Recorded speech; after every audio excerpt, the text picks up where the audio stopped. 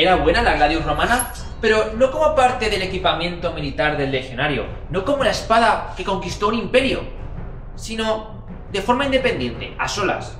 ¿Era buena? Veámoslo.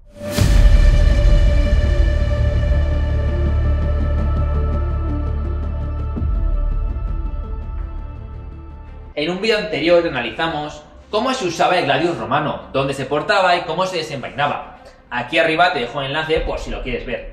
Pero en este vídeo quiero que veamos el gladius como arma independiente, no como parte del equipamiento militar que portaba el legionario romano.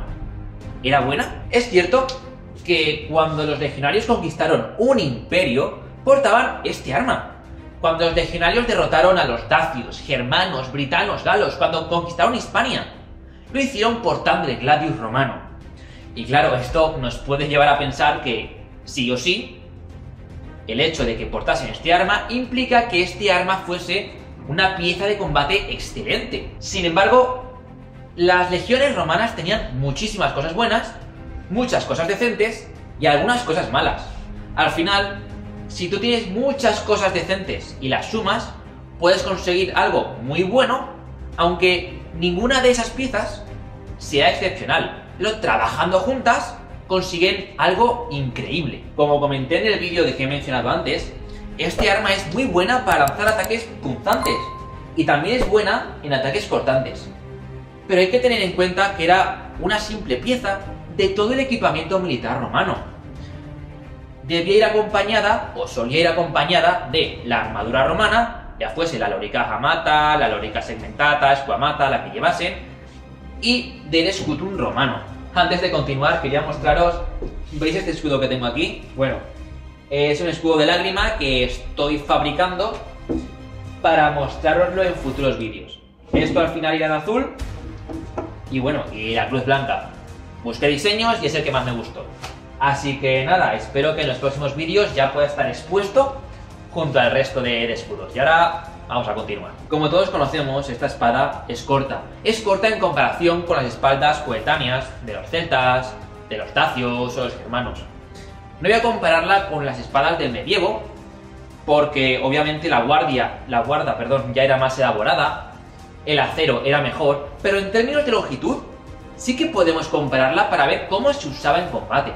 Y claro, si la comparamos por ejemplo con esta espada, que ya os he mostrado varias veces, de la era vikinga, sí que podemos apreciar, a ver aquí lo veis, una diferencia en las longitudes. Claro, esta es más larga, y solo por esos centímetros de más proporciona al guerrero que la porta una ventaja en cuanto al alcance.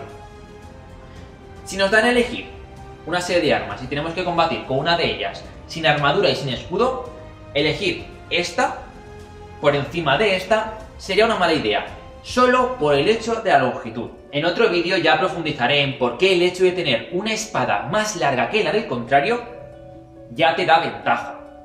Sin embargo, ahora, como no, os voy a dar algunos toques por encima y como no, también os comentaré dos excepciones al hecho de que siempre la más larga sea la mejor. Resulta que si nos queremos enfrentar a un enemigo que tiene una espada más larga o una lanza, para poder alcanzarlo, vamos a tener que entrar dentro de su, digamos, rango de alcance, valga la redundancia.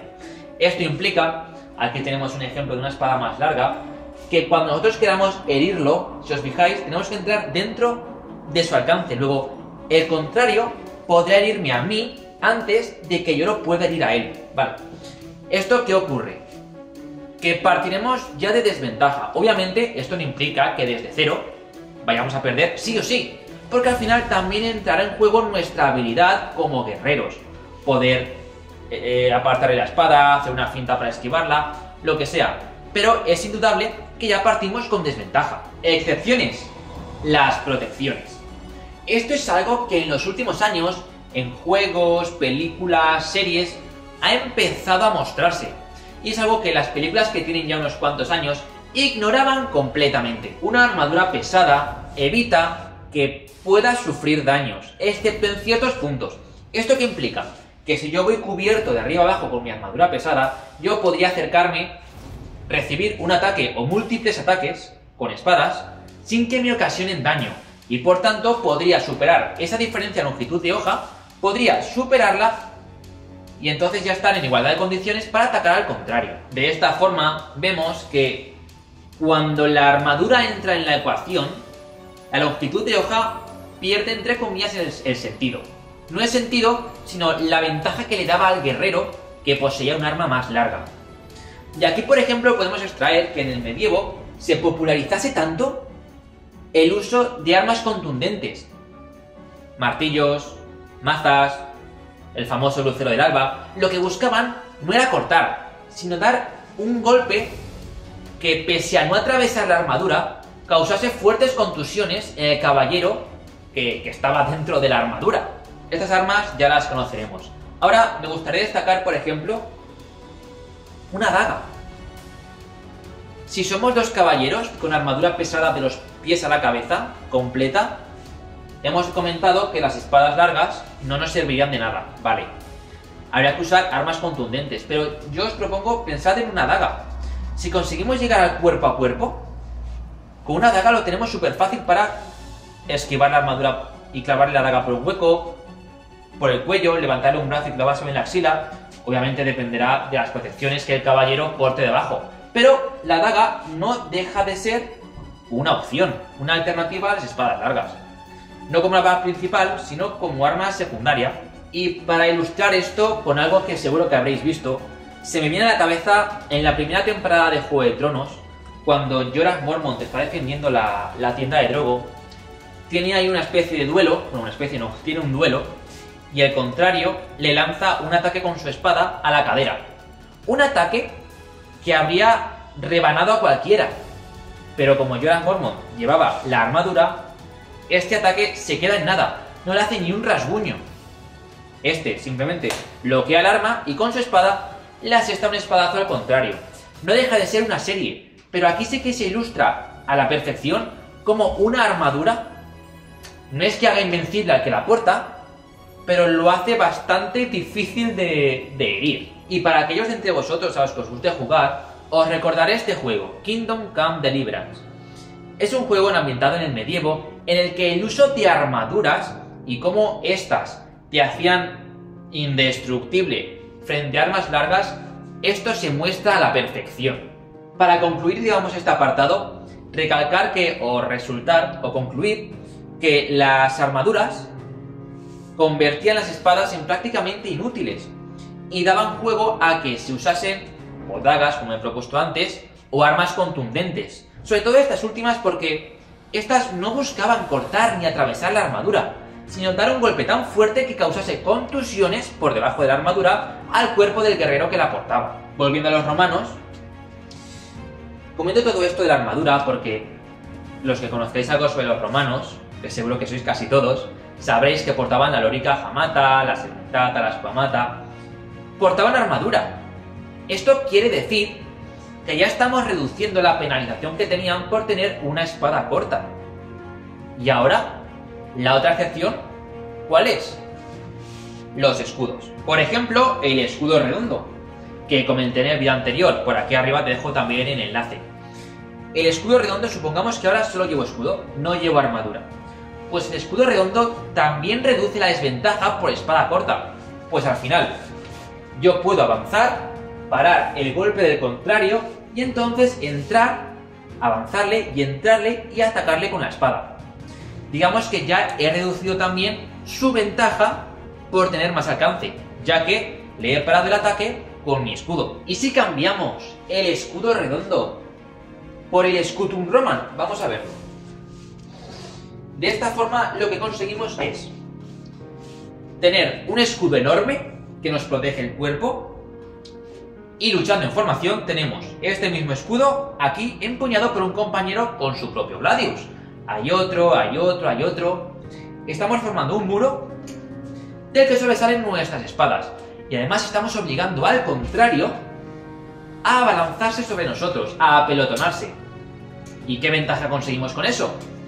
Pues que sus espadas largas no sean tan funcionales. En el vídeo en el que os comentaba cómo se usaba la Gladius, os, os decía por qué no se puede usar el arma como arma cortante.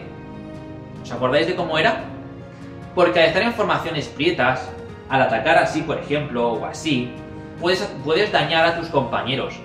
Y esto aplica lo mismo al contrario, que si está usando armas largas, no podrá usarlas con efectividad. Pero, ¿y si a esto del Scutum le sumamos la armadura romana? Pues lo tenemos todo a nuestro favor. Resulta que hemos eliminado toda desventaja y además lo hemos convertido en ventaja. Porque ahora esta espada puede salir y entrar de la formación a nuestro gusto. Pero entonces ahora seguro que me diréis, pero vamos a ver, ¿es una espada buena o es una espada mala? Vale. Si analizamos el Gladius de forma aislada, de forma independiente, es un arma mala, es un arma mediocre, al menos si la enfrentamos contra, por ejemplo, un florete, un sable, una espada bastarda, una simple lanza, ahí partimos con desventaja. ¿Y por qué digo que estas armas vencerían casi siempre a Gladius? Pues porque estas armas han sido diseñadas para ser usadas de forma independiente, de forma aislada, para batirse en duelos, sin estar acompañadas de un escudo. Por tanto, si las enfrentas contra un arma que solo es buena cuando portas escudo y armadura, van a vencer. Es cierto que la lanza se puede usar con escudo, pero es que la lanza es tan polivalente, la alargas y tienes una pica. La dejas corta y puedes usarla con un escudo o a dos manos. Puf, es tan polivalente. Pero claro, ¿y si añadimos a la, ecuación las variables del escudo y la armadura? Y usamos la Gladius de la forma en que fue pensada. Es decir, en formación, con un escudo enorme y con la armadura. Pues entonces el resultado es que la espada va a ser un arma brutal. Un arma capaz de conquistar un imperio. De hecho, por ejemplo, planteaos, vamos a dejar la espada, la Gladius, el Gladius, perdón. Vamos a plantearnos librar un duelo con escudo, pero en vez de portar un escudo redondo, portando un Scutum. Y acabamos de decir que el Scutum es muy bueno en las formaciones y que combinado con la Gladius y la armadura son brutales. Pero un duelo portando un Scutum tendríamos poca movilidad, sería muy pesado y en definitiva estaríamos en desventaja contra un escudo que parcialmente fue pensado para ser usado de forma aislada, para duelos. Aunque es cierto que hay escudos pensados para ser usados en formaciones, como por ejemplo los soplones griegos. Pero entended a lo que me refiero. Este te da mucha más movilidad que el escudo. Bueno, también tenemos este que tengo por aquí. Si os interesa este tema de los escudos, los podemos ver en otro vídeo. Dejadme en los comentarios si queréis que lo haga. Pensad una cosa. Cuando el, el Imperio Romano fue, digamos, evolucionando ya en la época tardía, y abandonó la forma de combatir de las míticas legiones romanas, abandonó a la par el Scutum y el Gladius.